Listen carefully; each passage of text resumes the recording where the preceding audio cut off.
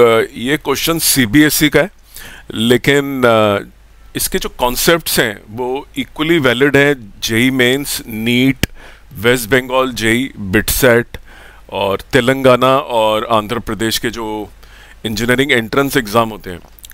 Subject is common तो board में भी आ सकता है जेई मेंस में भी आ सकता है। इस क्वेश्चन को मैं डिटेल में करूँगा एक्सप्लेन कर दूँगा मैं आपको, जिससे कि आप कोई भी क्वेश्चन अटेम्प्ट कर पाए। ये सिर्फ़ सोल्यूशन नहीं है सोल्यूशन के साथ एक्सप्लेनेशन है कि ऐसा क्यों हुआ। Topic is total internal reflection very tricky topic कई बच्चों को लगता है सिर्फ़ एक फॉर्मूला याद करके चले जाएँ क्रिटिकल एंगल का तो ये हो जाएगा। ऐसा नहीं है, आप ध्यान से क्वेश्चन को पढ़ लेते हैं पहले।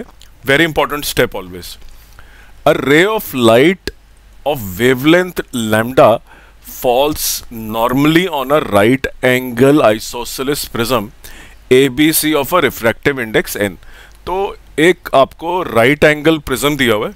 आप देख सकते हैं कि it's a right angle isosceles prism क्योंकि the so this is your right angle right ये आपका राइट right एंगल हो गया और यहाँ पे आपका प्रिज्म आइसोसिलिस राइट सो दो पैंतालीस डिग्री के एंगल नॉर्मली फेंका है लाइट को मतलब 90 डिग्री पे तो कोई रिफ्रैक्शन नहीं होगी। याद रखिए, अगर किसी भी ग्लास सरफेस या किसी भी रिफ्रैक्टिंग सरफेस पे अगर आप 90 डिग्री पे मारेंगे तो बिना बेंडिंग के आप निकल जाएँगे स्ट्रेट निकल जाएँगे राइट रिफ्रैक्टिव रिफ्रैक्शन का क्या मतलब होता है? बेंडिंग ऑफ़ लाइट ठीक है। पहला सवाल क्या? और रिफ्रैक्टिव इंडेक्स इसका एन दिया। First question is find the minimum value of refractive index of the prism इस प्रिज्म का क्या मिनिमम रिफ्रैक्टिव इंडेक्स हो? कि you get total internal reflection of the light on the face BC of the prism तो ये face BC है prism का। यह आपको जो है मिनिमम रिफ्रैक्टिव इंडेक्स चाहिए कि टोटल इंटरनल रिफ्लेक्शन हो जाए। तो थोड़ा सा एक बार कॉन्सेप्ट डिस्कस कर लेते हैं कि ये जो मिनिमम वर्ड है this is very confusing right अब minimum value of refractive index का क्या मतलब होता है, इसको समझ लेते हैं। क्योंकि अगर ये आपको समझ में नहीं आया और आपने सिर्फ़ कहीं से सोल्यूशन देख लिया तो आप इसको एब्जॉर्ब नहीं कर पाएँगे, आप इसे अप्लाई नहीं कर पाएँगे कहीं और राइट तो हम इसका मीनिंग समझ लेते हैं। पहले एक क्विक डिस्कशन क्रिटिकल एंगल के ऊपर। तो देखिए, ये एक मीडियम है दिस इज़ अ मीडियम और आपको मालूम है, जो टोटल इंटरनल रिफ्लेक्शन है, वो कब होती है? जब light travels from a dense medium to a rarer medium तो मेरी जो लाइट है, वो एक डेंस मीडियम में मान लीजिए ऑयल है, कुछ भी हो सकता है। ये मेरी टॉर्च है लाइट मैंने फेंकी। लाइट जो है, ये ऐसे थोड़ी सी बेंड होके निकल गई। थोड़ा सा मैंने टॉर्च का एंगल देखिए बढ़ा दिया यहाँ पे एंगल जो है इंसिडेंस का छोटा है। यहाँ एंगल ऑफ़ इंसिडेंस जो है, थोड़ा बड़ा कर दिया। टॉर्च को मैं थोड़ा सा इस तरफ़ लेके जा रहा हूँ। अब मेरी बेंडिंग थोड़ी ज़्यादा हुई। थोड़ा सा और मैं टॉर्च को इधर ले गया। मेरी बेंडिंग थोड़ी सी और ज़्यादा हो गई। मैं थोड़ा सा और इधर ले गया, मेरी बेंडिंग ज़्यादा हो गई। थोड़ा सा मैं और इधर ले गया और और आप देखिए, मेरी बेंडिंग जो है it has become parallel to the surface जो दोनों मीडियम्स का सरफेस है। This is medium number two तो इसका नाम रख लेते हैं मीडियम नंबर वन और इस समय मेरी लाइट बेंड होके ऐसे चली गई है। तो अगर मैं यहाँ नॉर्मल ड्रॉ करूँ तो मेरा जो एंगल ऑफ़ रिफ्रैक्शन है, वो 90 डिग्री हो गया राइट तो हमें मालूम है कि जो कॉन्सेप्ट होता है स्नेल्स लॉ लगाया जाता है n one sine theta one is equal to n two sine theta two right इसका मीडियम का n one angle of incidence theta one air का वन और ये जो है theta two this is 90 degree now right so this is theta 2 and this is theta 1 the angle of incidence in medium 1 denser medium के अंदर right तो इसको मैं साइन ऑफ़ 90 लिख लेता हूँ। तो मेरा n one sine theta one is equal to one and my sine theta one is equal to one by n one and my critical angle क्योंकि क्रिटिकल एंगल वो एंगल होता है जहाँ पे रिफ्रैक्शन जो है 90 डिग्री हो जाती है रिफ्रैक्शन राइट तो theta one is equal to sine inverse one by n one I think ये सबको ही पता होता है ये स्नेल्स लॉ कैसे लगाना है।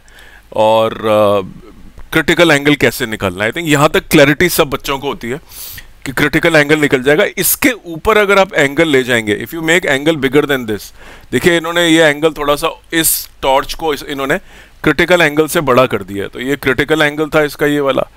और ये वाला जो एंगल है क्रिटिकल एंगल से बड़ा करा। जैसे ही बड़ा करा ये बाउंस बैक होके अंदर आ गई। So this is the concept of total internal reflection जिसको हम शॉर्ट में टी आई आर लिखते हैं राइट ये क्लैरिटी सबको है। लेकिन इस क्वेश्चन के अंदर क्रिटिकल एंगल या इस तरह का कुछ पूछा नहीं है। इधर minimum value of refractive index पूछी है, जो अपने आप में एक ट्रिकी लैंग्वेज है। सोल्यूशन देखने से कुछ नहीं होगा। जब तक आप समझ नहीं लेंगे, इसका मतलब क्या है? देखिए, कई बार क्या होता है कि आप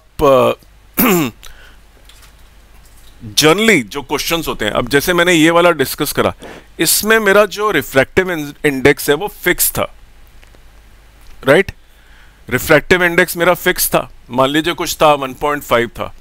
अगर मैं इसका रिफ्रैक्टिव इंडेक्स 1.5 से बढ़ा के 2 कर दूँ राइट तो क्या होगा? क्रिटिकल एंगल मेरा जल्दी आ जाएगा। मैं critical angle will become very small जल्दी ही मैं बेंड कर दूँगा लाइट को।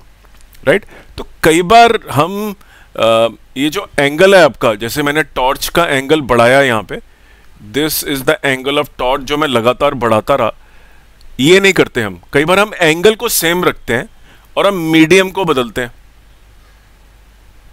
आप अगर रिफ्रैक्टिव इंडेक्स को बढ़ाएँगे आप देख सकते हैं कि refractive index is inversely proportional to sine theta one वैसे भी आपको मालूम है कि theta C is given to be sine inverse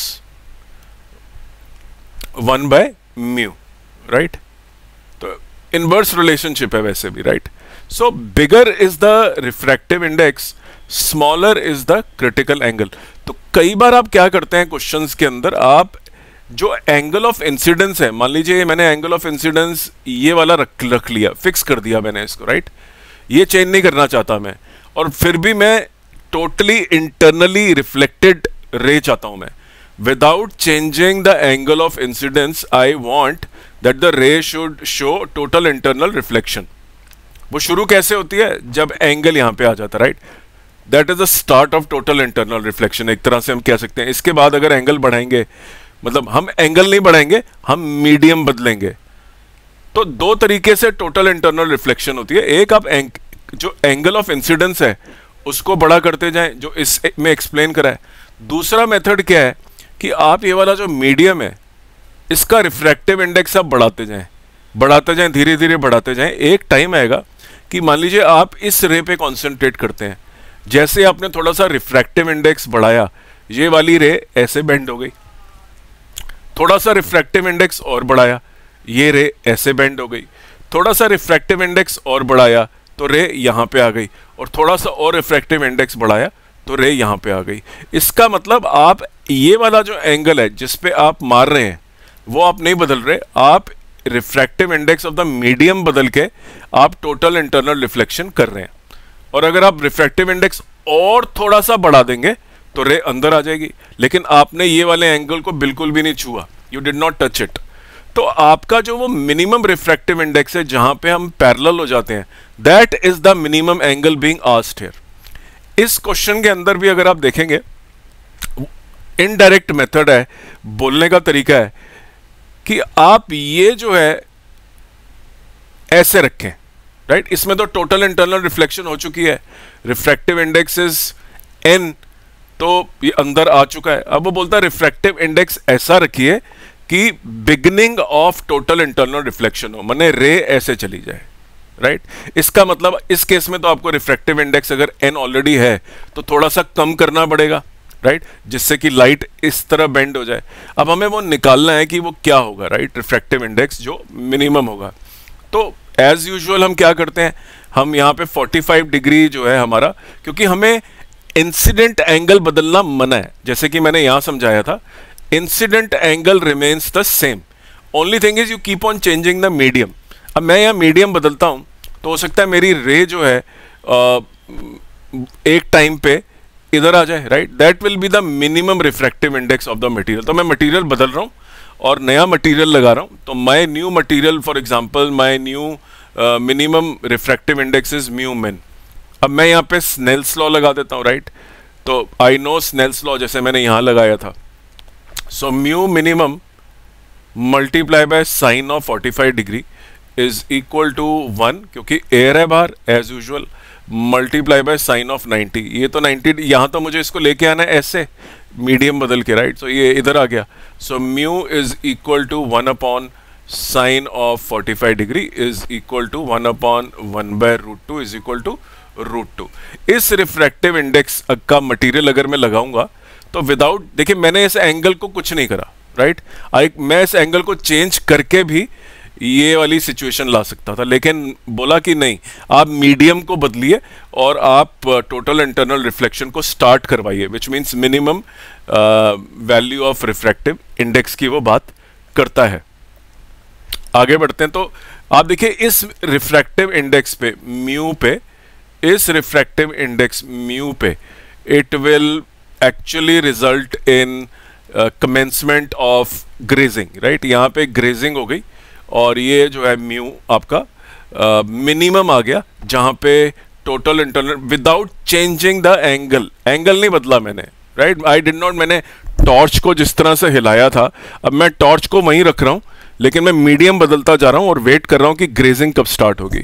तो मेरा रिफ्रैक्टिव इंडेक्स आ गया root two so my answer to question number one is mu minimum is equal to root two आगे बढ़ते हैं। For any given thin prism of small angle देखिए prism is also very important तो दूसरा topic जो हम study करेंगे, एक पढ़ लिया हमने टोटल इंटरनल रिफ्लेक्शन अब हम आ रहे हैं किसके ऊपर? थिन प्रिज्म के ऊपर। थिन प्रिज्म के सारे फॉर्मूले याद करके जाने आपको। Please memorise all the formulas of thin prism जो भी मिनिमम डिविएशन वगैरह जो आती है, उसको याद करके जाएँगे आप। अच्छा अब it's a small angle remember right तो थिन प्रिज्म कैसे काम करता है? थोड़ा सा उसके बारे में भी डिस्कशन कर लेते हैं कि थिन प्रिज्म में क्या होता है। अब देखिए, ये वाला डायग्राम भी मैंने लेफ़्ट साइड पे टोटल इंटरनल रिफ्लेक्शन दिखाने के लिए बोला था। Right right? अब बात करते हैं हम थिन प्रिज्म की देखिए ये थिन प्रिज्म है right for example this is the a very thin prism and the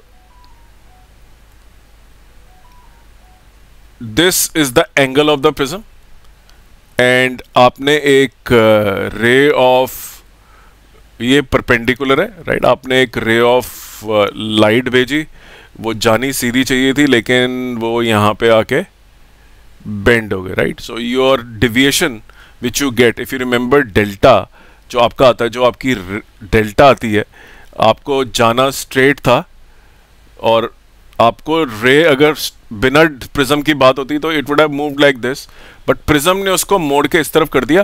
पहली बात तो जो थिक साइड होती है, देखिए, चौड़ी साइड है जो प्रिज्म की। The ray always bends finally towards the thick side of the prism right this is the first thing you have to understand okay तो ये आपका दिस इज़ द चौड़ी साइड है ये तो रे देखिए यहाँ से स्टार्ट हुई थी और जाना उसको सीधा चाहिए था वो बेंड हो गई और इधर आ गई और this is the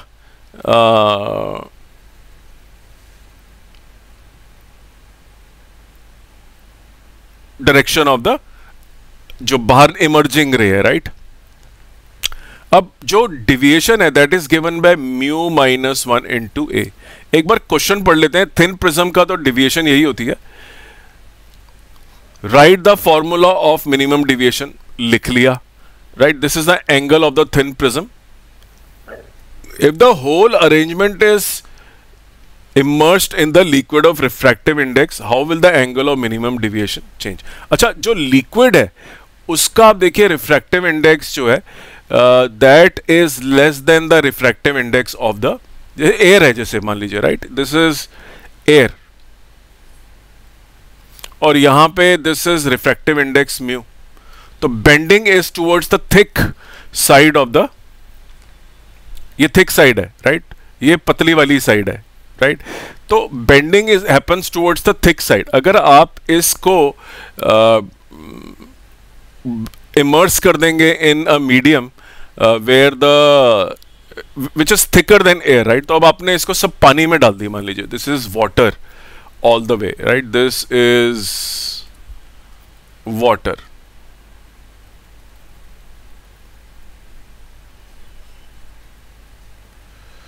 this is water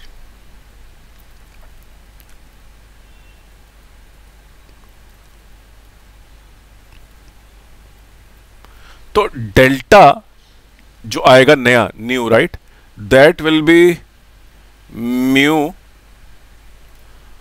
refractive index of the prism but now with respect to water right minus one into delta A देखिए the refractive index now of prism with respect to water will decrease with respect to air it may be high but with respect to water it will decrease so overall refractive index of the prism with respect to the water has gone down तो mu कम हो गया actually अगर मैं बात करूँ तो मेरी बेंडिंग उतनी नहीं हो पाएगी मैं बेंड तो अभी भी थिक सरफेस की तरफ़ करूँगा लेकिन मैं bending will not be more my deviation will be less less deviation will be there so delta new will be less than delta right? So, the new deviation will be less than the original deviation. और reason बिल्कुल clear मैंने आपको बता दिया the reason is that the refractive index has undergone decrease कम हो गया है refractive index right refractive index किसी भी मीडियम का with respect to another medium होता है राइट right? तो अगर हम बात करें prism which is glass and then water तो ज़्यादा गैप नहीं होता इन दोनों के बीच में। तो रिफ्रैक्टिव इंडेक्स ओवरऑल कम हो गया। विद रिस्पेक्ट टू एयर था, जो पहले वाला फॉर्मूला उसमें प्रिज्म यहाँ पे था और एयर यहाँ पे थी right so prism with respect to air substantial deviation you will be seen but in the case of prism with respect to water the delta new will be less तो आपका delta new the deviation you will see will be less all right. I hope this is making sense to you clear हो रहा है आपके दिमाग में।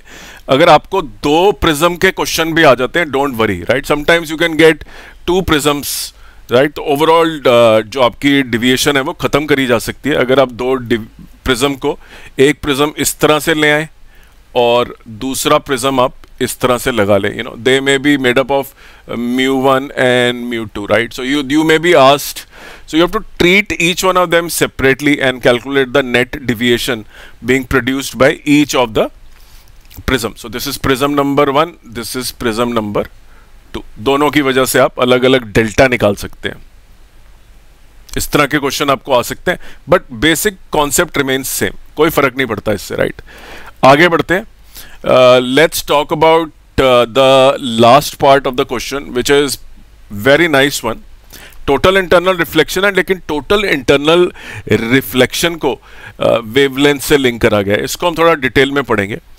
For some angle of incidence on the second face of the prism the incident blue light undergoes total internal reflection अब देखिए ये total internal reflection को वेवलेंथ से लिंक कर रहा है।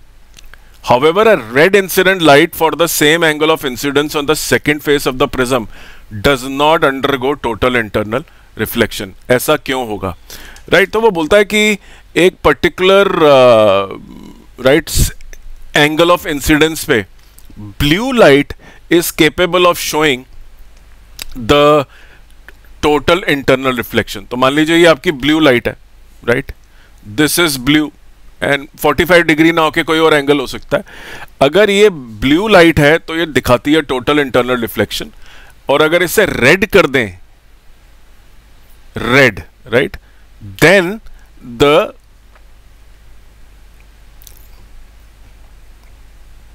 the total internal reflection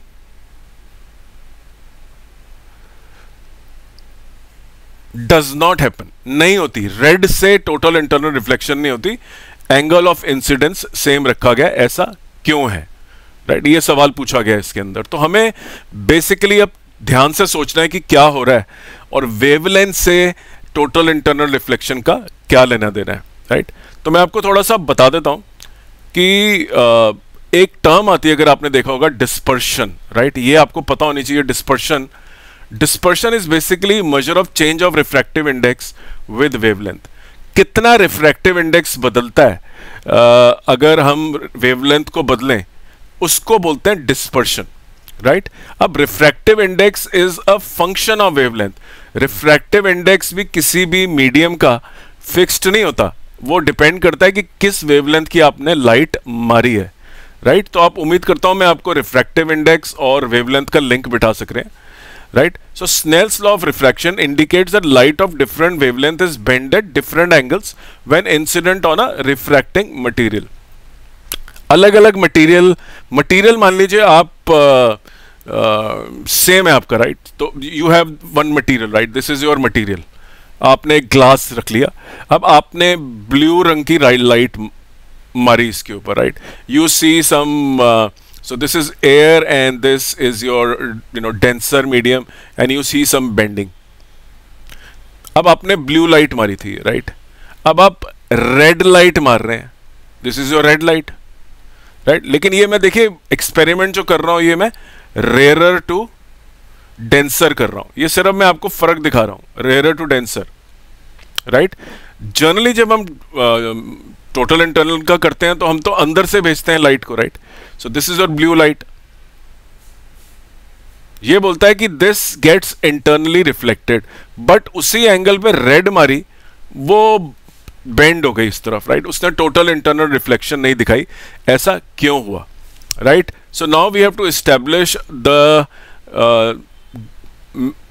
relationship between mu lambda and the critical angle critical angle basically तो refractive index पे डिपेंडेंट है, लेकिन फिर भी हम इसको इंक्लूड कर लेंगे। लेकिन ये concept the index of refraction generally decreases with increasing wavelength अब देखिए रेड की जो वेवलेंथ होती है राइट इट इज़ हाइएस्ट तो रिफ्रैक्टिव इंडेक्स इसकी वजह से लोएस्ट हो जाता है राइट? तो मैं अगर बात करूँ ब्लू की राइट? ब्लू की वेवलेंथ बीच में आती है राइट? मीडियम होती है तो म्यू ब्लू इसको मैं लिखूँगा द वही मटेरियल वही है, देखिए मटेरियल वही है, लेकिन वेव अलग अलग वेवलेंथ पे वो अलग अलग रिफ्रैक्टिव इंडेक्स दिखा रहा है और रेड के केस के अंदर उसी मटेरियल का रिफ्रैक्टिव इंडेक्स कम हो जाता है। अगर मैं रेड लाइट यूज़ करूँगा, इसी का मटेरियल जो है रिफ्रैक्टिव इंडेक्स जिसको आप जनरली म्यू लिख देते हैं, ये कम हो जाएगा रिफ्रैक्टिव इंडेक्स तो उतनी ज़्यादा बेंडिंग आपको मिल नहीं पाएगी, आप रिफ्रैक्ट होके चले जाएँगे। राइट ये हो गया आपका रेड के केस में। लेकिन अगर आप ब्लू यूज़ करते हैं, मान लीजिए ऐसे, और ये चला गया आपका, ऐसे। आपने ब्लू यूज़ करा, आपने देखा इंटरनल रिफ्लेक्शन की तैयारी शुरू हो गई है। और this is mu but blue तो रिफ्रैक्टिव इंडेक्स भी डिपेंड करता है वेवलेंथ और आपने नोट करा कि यहाँ लिखा हुआ है कि refractive index is inversely proportional to the wavelength bigger the wavelength bigger the wavelength smaller the refractive index bigger the wavelength smaller the refractive index right I hope this is making sense ये याद रख लीजिए बस अब एक graph देखिए आप ये एक मटेरियल है राइट अच्छा वेवलेंथ जब 700 है तो रिफ्रैक्टिव इंडेक्स की वैल्यू कितनी आ रही है? देखिए this is coming out to be रफली वन पॉइंट समथिंग राइट जैसे ही वेवलेंथ फोर छोटी हो गई रिफ्रैक्टिव इंडेक्स 1.47 तक। तो देखिए graph of wavelength and refractive index clearly show करता है कि जैसे जैसे वेवलेंथ बढ़ती है एक्स एक्सिस पे रिफ्रैक्टिव इंडेक्स गिरता चला जाता है। ये दोनों चीज़ें जो है याद रख लीजिए, क्योंकि अब हम मेन आंसर के ऊपर आने वाले हैं। उसको समझने के लिए अब हम क्या करेंगे? अब इसी कॉन्सेप्ट को कि ज़्यादा वेवलेंथ का मतलब है छोटी रिफ्रैक्टिव इंडेक्स देखिए, मैंने मैथमेटिकली इसको लिख दिया कि ये कॉन्सेप्ट भी आपको पता होना चाहिए right mu one lambda one is equal to mu two lambda two so जिसकी वेवलेंथ बड़ी उसका रिफ्रैक्टिव इंडेक्स फिर छोटा हो जाता है। ये याद करके चलिए। For the same angle of incidence जिसका रिफ्रैक्टिव इंडेक्स बड़ा उसकी वेवलेंथ छोटी। तो this formula should also be memorize by you for JEE Mains और जो भी आप इंजीनियरिंग एंट्रेंस या नीट का एग्ज़ाम दे रहे हैं, इसको याद करके जाइए। Mu one lambda one is equal to mu two lambda two अगर आपने सेम मीडियम पे अलग वेवलेंथ लगा ली तो आप नया ये निकालेंगे। मान लीजिए आपको वेवलेंथ दे रखी है एक 4500 दूसरी आपको दे रखी है 6000 और 6000 पे आपको mu two is also known to you as 1.5 तो आप म्यू वन निकाल सकते हैं right 4500 into mu one is equal to 6000 into 1.5 right ये फॉर्मूले का मीनिंग मैंने आपको समझा दिया अब वापस चलते हैं कि क्यों जब रेड लाइट लगाई तो टोटल इंटरनल रिफ्लेक्शन नहीं हुई उस मीडियम के अंदर राइट क्वेश्चन को ध्यान से पढ़ लें दोबारा। For the same some angle of incidence the blue light undergoes total internal reflection however a red light for the same angle of incidence on the second phase does not undergo total internal reflection अब इसको समझ लेते हैं कि हुआ क्या। देखिए इस कॉन्सेप्ट से आपको मालूम चल गया refractive index reduces as the wavelength increases right mu reduces as the wavelength increases i hope this is making sense to you now let's talk about the reason देखिए जब रेड आप यूज़ करेंगे your refractive index will go down अच्छा अगर आप note करें for the same angle of अगर आपने जो इंसिडेंट एंगल सेम रखा है तो ये देखिए आप।